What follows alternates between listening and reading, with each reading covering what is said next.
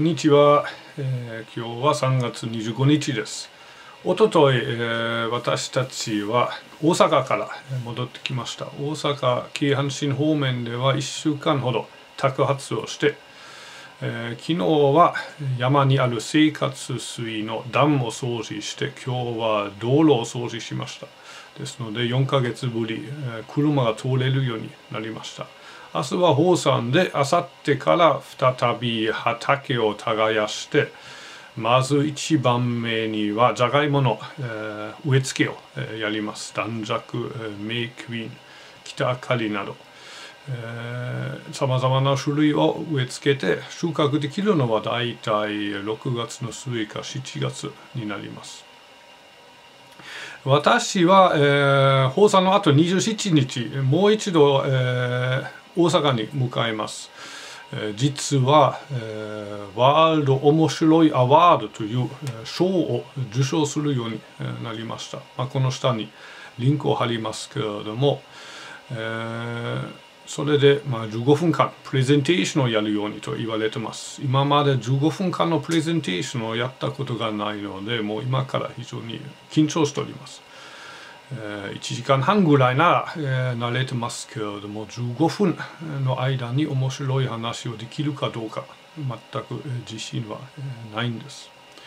4月はあまり外に行く用事はないんですけれども、えー、5月に、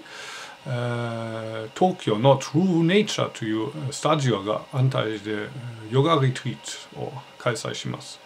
そしてその5月の後半に私はトゥーネイチャーに呼ばれて今度軽井沢のヨガイベントで座禅を教えます。7月の終わりにまた、えー、別の先生、えー、エリコ重松先生が安泰でリトリートを、え、やります。ですから、今年は安泰市でも2回ほど、え、ヨガイベントやる予定です。もう一つですけれども、ヨギニというヨガの、え、雑誌があるんですけれども、え、今月号に私のインタビューが載ってます。呼吸について。えー、まあ自炊は多くないんですけれども、ヨガに関心のある人、えー、なら、えー、読んでいただければありがたいです。もう一つ、新しい本も出ました。ありのままでもいい、ありのままでなくてもいいという。えー、まあ曖昧といえばちょっと曖昧な題名ですけれども、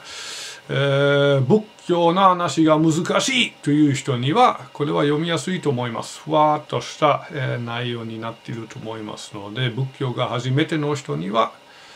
えー、おすすめできる一冊ではないかと思っておりますえー、それでは、まあ、えー、安泰寺でもようやく春が訪れてきて、これから寒い忙しくなりますけれども、えー、皆さんも、まあ、元気でお過ごしください。